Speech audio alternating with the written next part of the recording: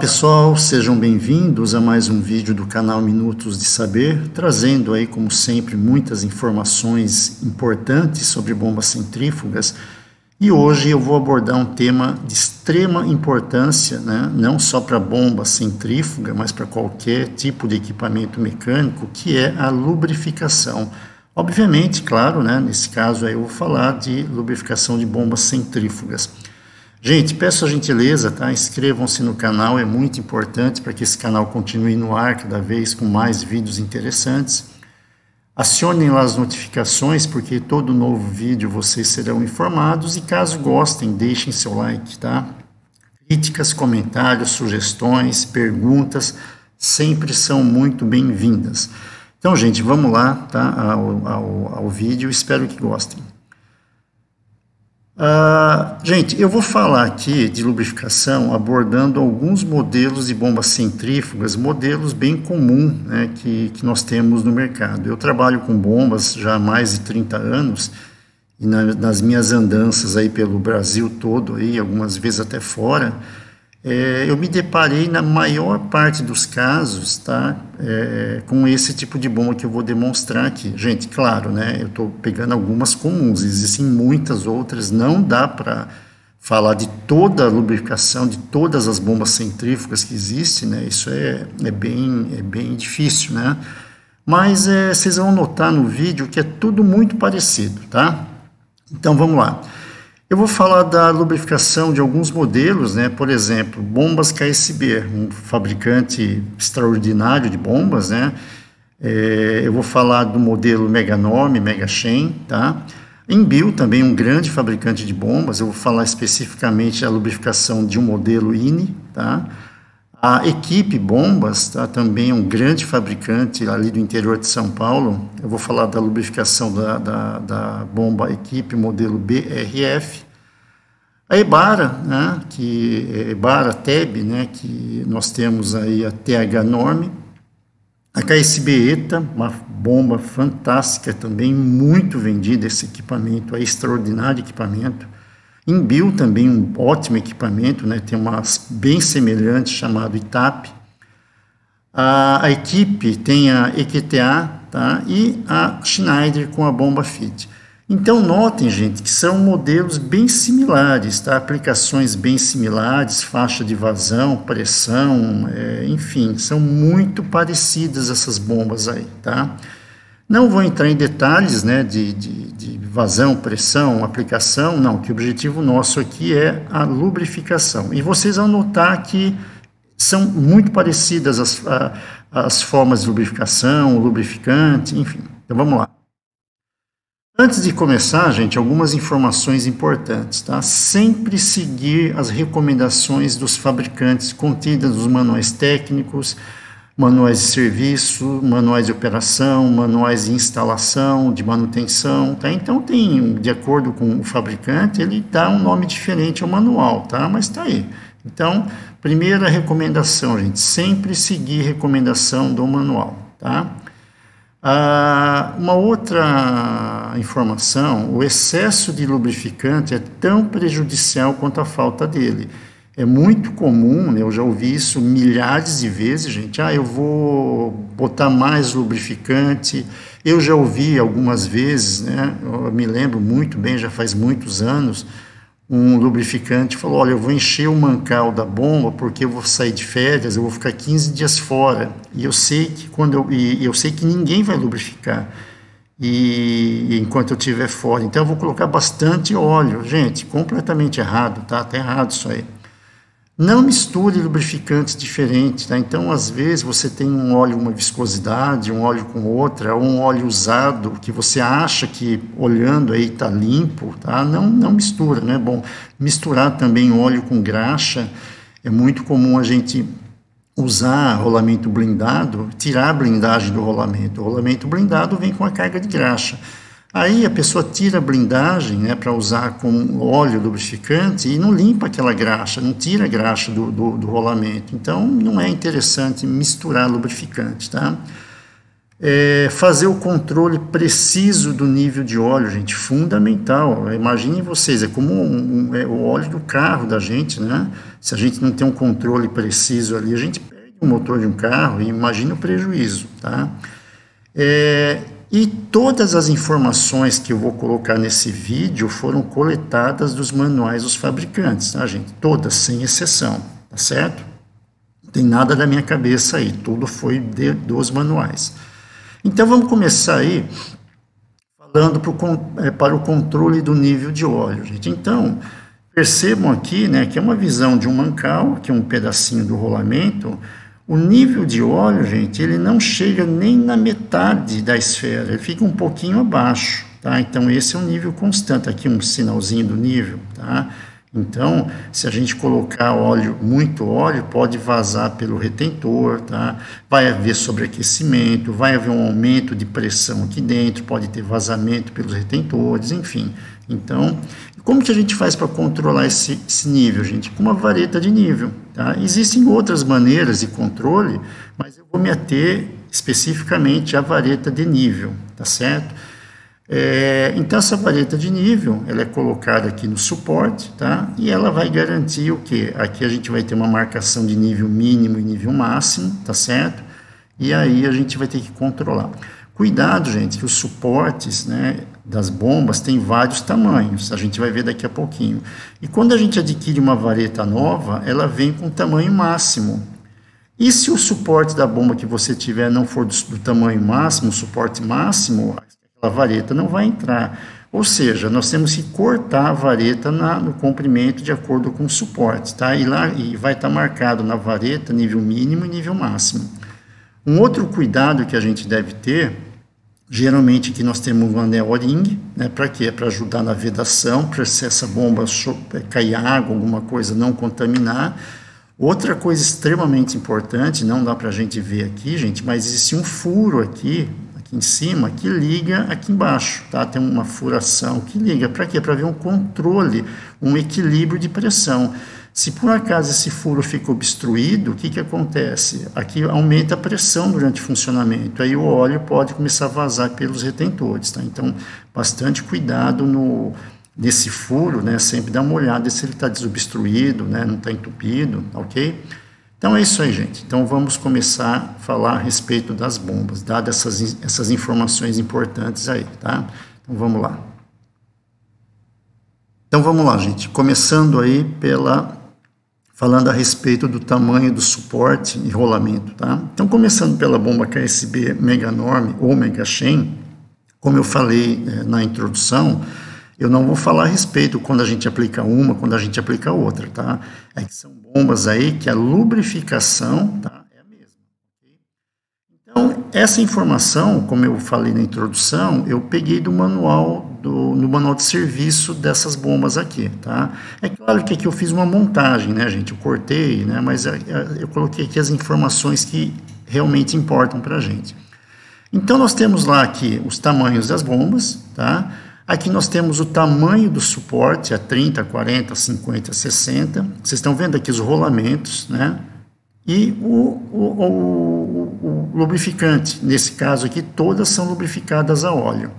Então, olha que interessante, gente. Então, tá aí a bomba, tá? A Mega Norm, a Mega Chain, bem parecida uma com a outra. Essa aqui que está aparecendo é uma Mega Norm, tá? É, o rolamento 6306, para quem conhece o rolamento, quem não conhece, né? É, já deve é, saber que ah, cada numeração dessa tem uma informação muito importante, tá? Mas existe uma regra aí que a gente usa, né, que os fabricantes recomendam, que nós pegando os dois últimos dígitos e multiplicando por 5, nós temos o diâmetro interno do rolamento, ou o diâmetro do eixo, tá, onde o rolamento vai ser colocado. Então, nesse caso, 0,6 e 5 é igual a 30. Então, a KSB chamou de suporte a 30, tá vendo aqui, ó? Então, todas essas bombas, os suportes são suporte a 30. Vamos pegar uma outra aqui? A 6308, 8 vezes 5, 40. Tá vendo aqui, gente? Ó, suporte a 40. Outra, 63, 10. 63, 10, 10 vezes 5, 50, suporte a 50. E 63, 12, 12 vezes 5, 60, suporte a 60. Tem maiores, tá? Mas eu peguei só essa faixa aqui. A KSB tem uma linha ampliada dessa bomba, mas vamos ficar nesse, nessas aqui. É, é tudo igual, como eu falei para vocês, gente. É, por que, que é importante a gente saber o, o suporte, gente? Porque vai o óleo aqui dentro. E qual é a quantidade de óleo que vai, vai, de, vai depender do tamanho do suporte, obviamente, tá?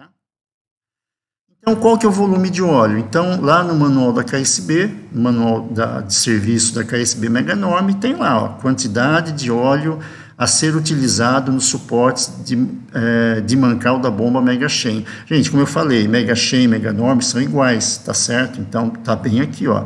Então, se eu pegar o manual da Mega Norm, vai estar tá exatamente a mesma tabela. Então, para o suporte a 30, 100 ml, para o suporte a 40, 170 ml, para o suporte a 50, 200 ml, para o suporte a 60, 480 ml de óleo, tá certo? E ah, qual que é o intervalo de lubrificação, gente? Então, é assim, ó, vocês vão notar que todas as que eu vou apresentar têm informações muito parecidas, algumas até exatamente iguais. Então, gente, a primeira troca deve ser feita nas primeiras 200 a 300 horas. Se a gente fizer uma conta aqui, gente, 300 horas, se a gente dividir por 24, eu tenho 12 dias e meio. É, é claro, né, gente? Não precisa ser exatamente 12 dias e meio, pelo amor de Deus, né? Pode ser 15 dias, pode ser 10 dias, né? Depende muito também, gente, da, da rotina de funcionamento da bomba, né? E vamos, eu estou supondo né, que ela está trabalhando 24 horas por dia. E se ela trabalhar só 12 horas por dia? E se ela trabalhar, por exemplo, 5 horas por dia? Aí tem que se fazer uma conta, né, tem que ter o um bom senso para a gente poder ter uma ideia boa aí, tá? É, por que, gente? Porque a bomba, quando ela vem de fábrica, ela vem, apesar de ser lavada, ser muito bem limpa, ela colocada numa estufa para secar, pode ficar algum resquício de usinagem ali, tá? Então, é, isso para evitar que partículas não eliminadas pela limpeza, né, pode misturar com óleo. Então, a primeira troca, gente, sempre tem que ser bem uma faixa de 10 a 15 dias aí, tá? Claro, depende né, da, da operação da bomba. A próxima troca, 1.500 a 2.000 horas. Então, se eu pegar 2.000 horas, dividir por 24, eu tenho aproximadamente aí quanto, gente? 83,3 dias, ou aproximadamente 3 meses, tá? 90 dias, ok? E aí, a cada 8 mil horas de trabalho efetivo. Tá? Olha lá, trabalho efetivo. Né? Se ela trabalhar, por exemplo, uma hora por dia, gente, é trabalho efetivo. Né? Se ela trabalha 24 horas por dia, então aí no caso seria aproximadamente quanto, gente, a cada ano. E aí diz aí, ó, é, ou pelo menos uma vez ao ano, obedecer o que acontecer primeiro. No máximo a cada dois anos, os mancais devem ser lavados. Então eu devo fazer o que? Uma lavagem, tirar todo o óleo, né, lavar e completar com óleo novo, tá certo? Então, gente, uma informação bastante importante aí que a gente vai ver nos, nos demais, uh, em outras bombas aí, tá certo? É, mas independente, gente, sempre é bom a cada ano fazer a troca, porque quê? Mesmo que ela não tenha atingido aquelas 8 mil horas, gente, o que, que acontece? O óleo deteriora, ele estraga, tá? Então é bom sempre a cada ano fazer a substituição. E que óleo que eu vou usar? Então, de acordo com o fabricante, na tabela 6, né? Então, aqui eu tenho vários fabricantes, Atlantic, Castrol, né? até 3.000 RPMs, que nós chamamos bombas de baixa rotação, né?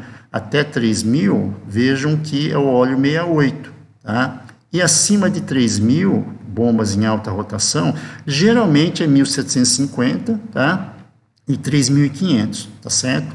Então, até 1.750, vamos dizer assim, uh, o 68 e acima o 46, né?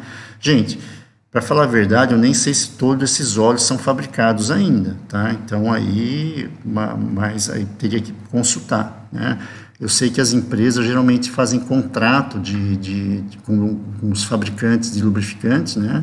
Então vamos supor que eu tenho um contrato com a Shell. Não sei se a Shell provavelmente tem ainda Estelos 68 ou Telos 46, Texac e por aí vai, tá? Importante é a informação da viscosidade do óleo, ok? Ah, no caso da Embio INE, né, que eu falei para vocês, bem parecida com a Mega Norm e Mega Chain, gente, é o mesmo esquema. Então, de acordo com o tamanho da bomba, tá? Então, lá, então vamos repetir, 6306, 06530, cavalete 30, ela chama aqui de cavalete, tá? Ela não chama de suporte. É, 6308, 6310, 6312, então a coisa se repete, tá? Ah, quais são os intervalos de lubrificação? Gente, vejam, bem parecido com a bomba KSB, tá? Lá na KSB estava 200 a 300 horas, aqui 250 a 300, né?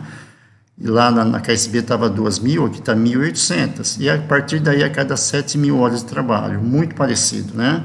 E aí está, ah, vocês estão vendo, gente? Praticamente as mesmas informações, né? Até 3.068 e acima o 46. Gente, eu não coloquei aqui, ah, no caso da Embio, ah, o volume de óleo, tá? Que eu fiquei um pouco de dúvida nos manuais da Embio, né? Então eu resolvi não colocar, tá certo? mas quem quiser só dá uma olhadinha lá, tá certo? Ah, no caso da KSB, gente, aquela bomba ETA que eu comentei bem no comecinho, então aqui, suporte, né, ou cavalete, né, é, geralmente que nós chamamos de cavalete, tá? Ah, então, para um determinado tamanho, eu tenho lá suporte ou cavalete 0, A, B, C e D, né? O rolamento, né, duas vezes, né, porque são dois rolamentos, e a lubrificação, todas lubrificadas em banho de óleo. Então, olha lá, gente, 6304, 4V5, 20. Então, cavalete zero, ok? Ou suporte zero. 6305, 5V5, 25, cavalete A. 6306, 6V5, 30, cavalete B. E assim sucessivamente, tá? Cavalete C e cavalete D, ok? E aqui, né, vocês estão vendo esses pontinhos, por que, que foi colocada a informação aqui? Porque não cabe o, o, colocar o nome do rolamento aqui, né, a especificação. Então, quando tem uma bolinha só, é o 6411, quando tem duas bolinhas, é o, é, é o 7313 ou 6411.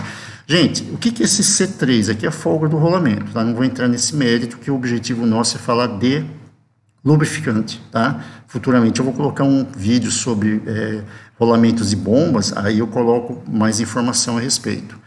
Volume de óleo, né? Eu peguei a tabela, fiz um corte na tabela para caber nessa, nessa, nesse slide. Então, gente, suporte A, né? Desculpa, suporte 0, 0,4 litros ou 400 ml.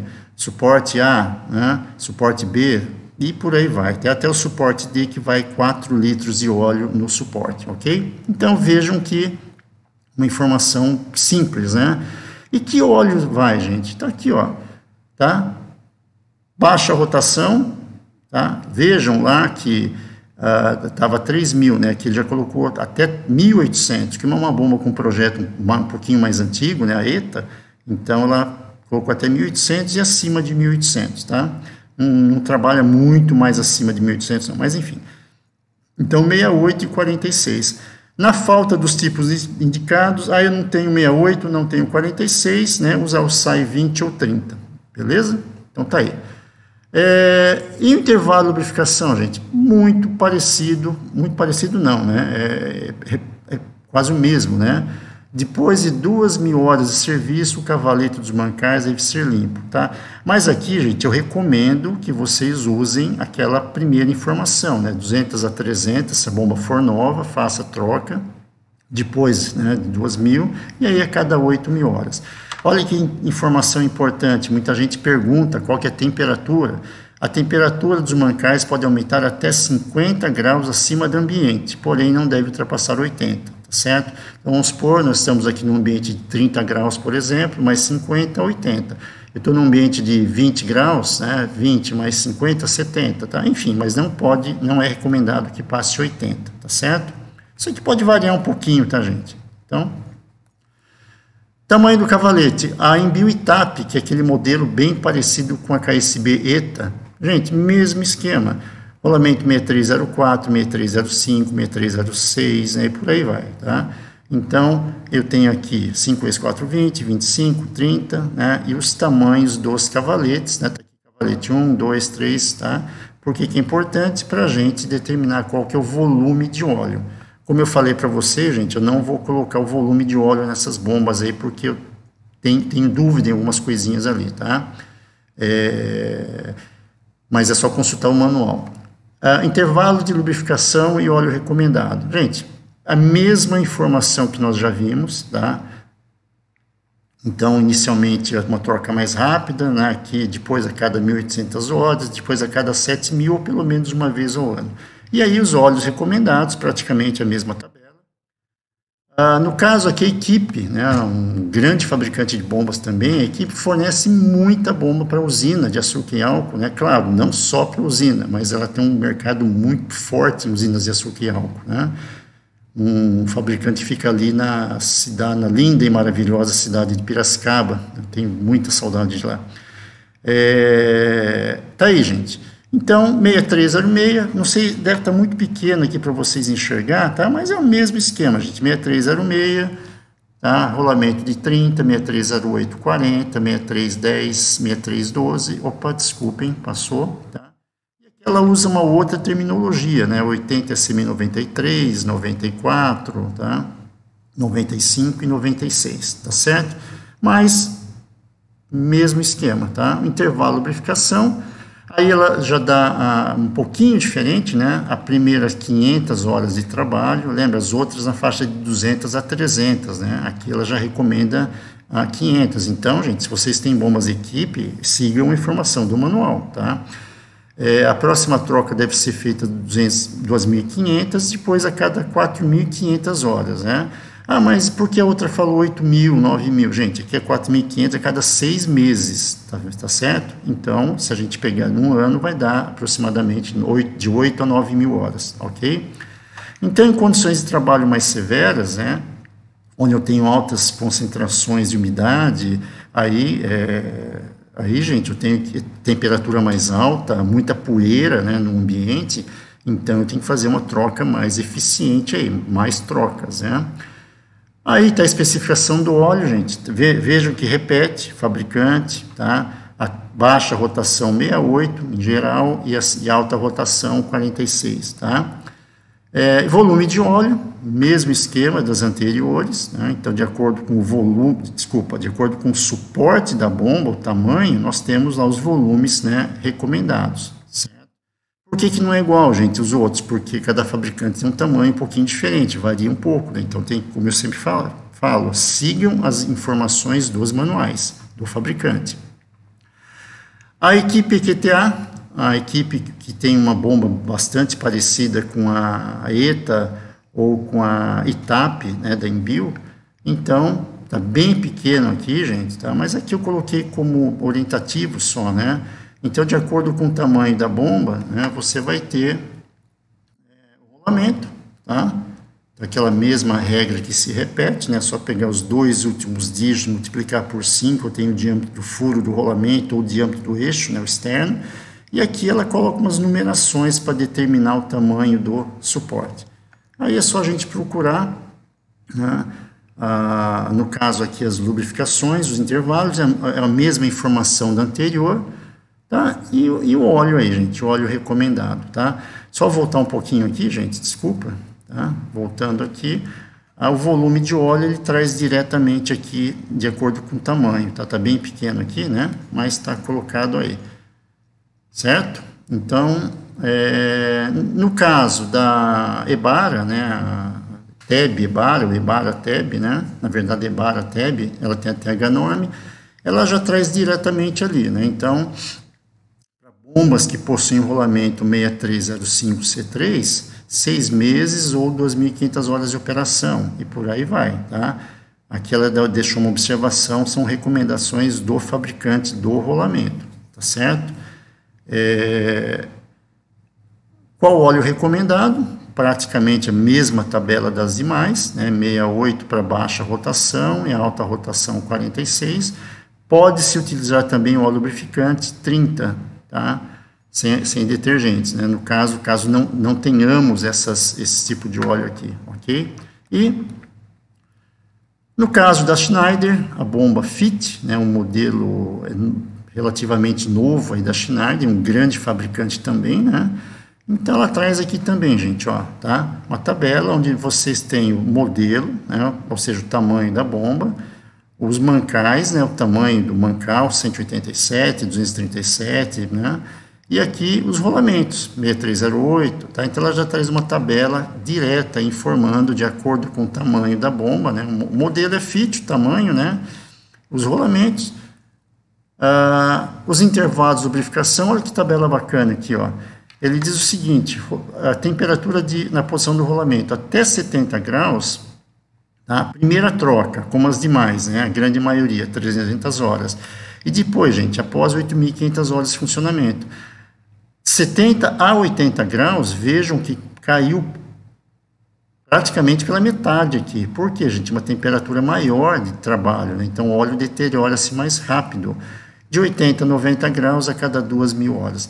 Gente, lubrificação vai muito do, do da, da experiência que cada um tem, tá? Então, né, se a gente seguir as recomendações dos fabricantes, foi tudo que eu passei aí, mas cada um tem a sua experiência prática, né? então também experiência muito importante. Volume lubrificante, né? como as demais, então, de acordo com o tamanho do mancal, eu vou ter lá os volumes específicos ali, tá certo? Então, gente, é isso aí. Espero que tenham gostado. A lubrificação fundamental para qualquer equipamento, tá? Então, espero ter ajudado com esse vídeo aí. Mais uma vez, gente, inscrevam-se no canal, é muito importante, tá? É, acione as notificações, porque todo novo vídeo vocês serão informados. Caso tenham gostado, deixem seu like. Muito importante também os likes, tá? Críticas, comentários, sugestões, sempre muito bem-vindos. Gente, grande abraço e até um próximo vídeo. Valeu!